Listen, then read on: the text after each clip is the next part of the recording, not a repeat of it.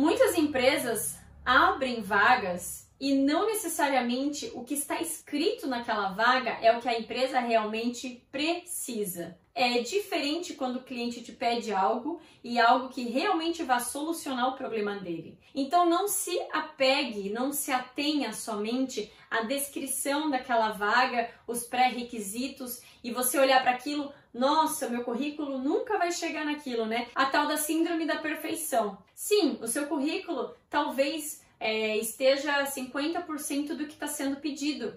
Mas às vezes a empresa não precisa de 100% do que está pedindo ali. E acho muito válido vocês irem para essas entrevistas de emprego, pedir para conversar, volume, né, gente? Tentar ir ao máximo para quem está aí no mercado tentando vagas de emprego. É só porque vocês vão levar um não, dois não, três não, não significa que vocês vão parar por aí. Tem que continuar, tem que pegar feedback da empresa perguntar por que, que não fui selecionado, quais são os meus gaps perante a varinha aberto, não ficar chateado, emburrado, olhar para aquilo e ver como você pode ser melhor, como você pode fazer um curso, como você pode correr atrás daquilo, um ano, daqui a, sei lá, até menos tempo, você poder se candidatar de novo nessa empresa. Por que não? Você vai cumprir todos os gaps ali que a empresa está pedindo. Tem muitas vagas de Agile Coaching aberto há algum tempo já, e elas não encontraram um profissional aí que atendesse as necessidades dela.